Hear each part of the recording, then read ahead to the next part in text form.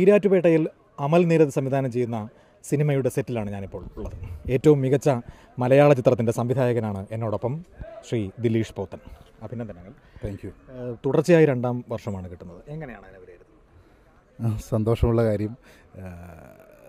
കഴിഞ്ഞ തവണ എനിക്ക് മഹേഷിന്റെ പ്രതികാരം ചെയ്തപ്പോൾ കിട്ടിയ പുരസ്കാരങ്ങളൊക്കെ തീർച്ചയായിട്ടും തൊണ്ടി മുതൽ പോലുള്ളൊരു സിനിമയ്ക്ക് ചെയ്യാൻ എനിക്ക് ധൈര്യവും ശക്തിയൊക്കെ തന്ന തന്നു തന്നെയാണ്.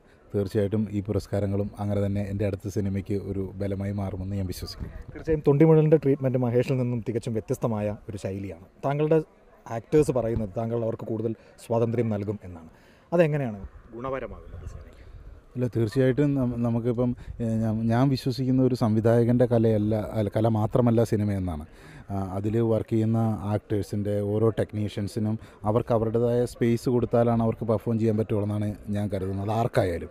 ആർക്കായാലും ഒരു ഒരു നടനെ നമ്മളൊരു വരച്ച വര നിർത്തിയിട്ട് ഇവിടെ നിന്നിട്ട് ഇടത്തോട്ട് അല്പം തിരിഞ്ഞ് തോളന്ന് ചെരിച്ചിട്ട് രണ്ട് വാക്ക് ഞാൻ പറഞ്ഞത് തന്നെ പറയാനാണെങ്കിൽ അത് അതിനെ ഒരു ക്രിയേറ്റീവായിട്ടുള്ള ആക്ടറുടെ പെർഫോമൻസ് ആയിട്ട് എനിക്ക് കാണാൻ പറ്റുന്നില്ല. ഞാൻ അതിനെ കുറച്ചും കൂടെ സ്വാതന്ത്ര്യത്തോടു കൂടി ആ കഥാപാത്രത്തെ ഉൾക്കൊണ്ട് ആ നിമിഷത്തെ ആ മൊമെന്റിനെ ആക്ടർ പെർഫോം ചെയ്യുമ്പോഴാണ് അവതരിപ്പിക്കുമ്പോഴാണ് നന്നാകുന്നത് എന്നാണ് ഞാൻ വിശ്വസിക്കുന്നത്.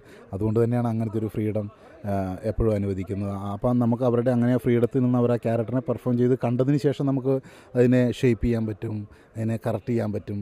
അതിനെ അതാണ് ഏറ്റവും രസമായിട്ടുള്ള ഒരു ആക്ടർ അയാളുടെ ക്രിയേറ്റീവ് ഫിൽറ്ററിലൂടെ ആ ക്യാരക്ടറിനെ കടത്തി വിടണമെന്നാണ് ഞാൻ വിശ്വസിക്കുന്നത്. തീർച്ചയായും ഇവിടെ സെറ്റിൽ താങ്കളോടൊപ്പം ഫഹദും ഉണ്ടായിരുന്നു. ഒരു പക്ഷേ ഒരു കോൺഫിഡൻസ് ആയിരുന്നു. അത് ഒരുമിച്ച് ആ ആഘോഷം പങ്കിടാനുള്ള ഒരു അത് അമലേട്ടന്റെ പടത്തിൽ ഓരോ ദിവസം ഞങ്ങൾ അഭിനയിക്കാൻ വിളിപ്പിച്ചുകൊണ്ടാണ് അങ്ങനെ ഒരു ഭാഗ്യം ഉണ്ടായത്.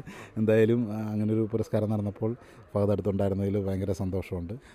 കഴിഞ്ഞ വർഷത്തെയും ഈ വർഷത്തെയും ദേശീയ പുരസ്കാരം കിട്ടിയ സ്ക്രീൻ പ്ലേകൾ ഡയറക്റ്റ് ചെയ്യാൻ പറ്റി എന്നുള്ളത് എന്റെ ഭാഗ്യമായിട്ടാണ് ഞാൻ കരുതുന്നത്. തീർച്ചയായും. ശ്യാമും സജീവ് പാഴുവരുമാണ്. ഒരു പക്ഷേ അവരോടൊപ്പം ആയിരിക്കും. അങ്ങനെ അല്ലെങ്കിൽ പ്രതിപാദനരായ ഒരു ഒരു സംഘം കിട്ടുക എന്ന് പറയുന്നത് ഡയറക്ടറുടെ അനുഗ്രഹവുമാണ്. പിന്നെ അപ്പോൾ ഇനിയും തീർച്ചയായും സെലക്ഷനിൽ ആ രീതിയിൽ നമുക്ക് അല്ല ഉത്തരവാദിത്തം എപ്പോഴും ഉണ്ട്. നമ്മളിപ്പം സെലക്ഷനിൽ നമ്മൾ വേറെ വേറെ ടെക്നിക്കലായിട്ടല്ലോ നമ്മളൊരു കാര്യത്തെ സെലക്ട് ചെയ്യുന്നത്. നമ്മളെ ആ കഥ എങ്ങനെ സ്വാധീനിക്കുന്നു? അതിലെ സീനുകൾ രംഗങ്ങൾ നമ്മളെ ഒരു ഒരു വ്യക്തി എന്ന നിലയിലോ ഫിലിം മേക്കർ എന്ന നിലയിലോ എന്നെ എങ്ങനെ സ്വാധീനിക്കുന്നു എന്നുള്ളത് തന്നെയാണ് അതിന്റെ ഏറ്റവും വലിയ പോയിന്റായിട്ട് ഞാൻ കാണുന്നത്.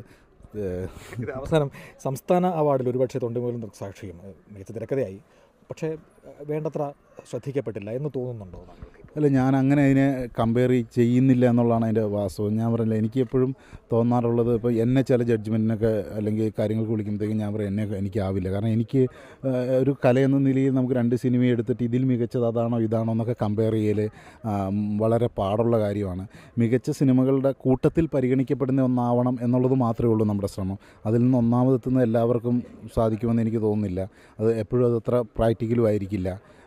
സംസ്ഥാന അവാർഡും മികച്ച നിർണയം തന്നെയാണെന്നാണ് ഞാൻ വിശ്വസിക്കുന്നത്. മികച്ച സിനിമ അടുത്ത വർഷം ഉണ്ടാവും എന്ന് പ്രതീക്ഷിക്കുന്നു. ദിലീഷ് പോത്തനോടൊപ്പം എസ് അജിത്തും പ്രസാദ് വെട്ടിപ്പുറവും ഈരാറ്റുപേട്ടയിൽ നിന്നും ന്യൂസ്.